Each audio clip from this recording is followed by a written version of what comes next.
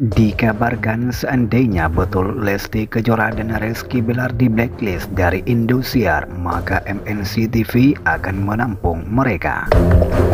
Menurutnya, Lesti tidak perlu merasa khawatir karena dicoret pihak Indosiar karena masih ada MNC TV. Buat Lesti sama Bilar tenang aja, misalkan lo di backlist dari Indosiar, masih ada MNC TV yang mau nampung kalian berdua yang penting kalian harus benar-benar berubah. Yang penting kalian harus berikan yang terbaik untuk penontonnya. Tenang aja mereka siap, mereka mau kok dan siap-siap dangdut tuh lari ke sana, ujar Saipul Jamil. Saipul mensupport Lesti Kejora dan Rizky Bilar di tengah-tengah ramainya badai hujatan dari pihak-pihak yang merasa geram atas dicabutnya kembali laporan kasus kekerasan dalam rumah tangga atau KDRT dan perdamaian di antara mereka.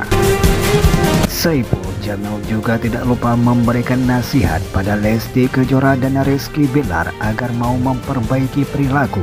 Berharap mereka berdua bisa menunjukkan ke publik dengan perubahan perilaku yang lebih baik. Ya deh nggak usah sedih Sekarang yang penting kalian berdua perbaiki Tunjukkan sama publik kalau kalian itu bisa berubah Ingat Allah aja maha pemaaf Ya masa hambanya melebihi dari maha pemaafnya Allah Lanjut Saipul Jamil Selain dari itu, Saipul Jamil beranggapan jika yang namanya televisi kepentingannya adalah bisnis, yang namanya bisnis menurutnya tidak punya nurani. Wajar jika seandainya pihak Indosiar akan hitung-hitungan untung dan ruginya. Bahkan Saiful Jamil mengingatkan dulunya televisi Indosiar mendapat untung dengan adanya Lesti yang bisa menaikkan rating dan juga menguntungkan perusahaan tersebut.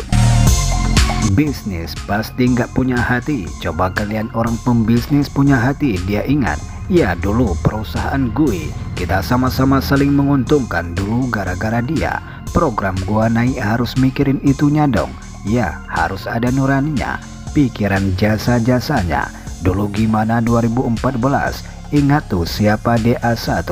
Lesti pencetusnya, jurinya ada gue. Ya enggak 2014 tuh. Indosiar kayak bisa bangun gedung ini. Gedung itu nomor satu programnya sambung Saipul Jamil.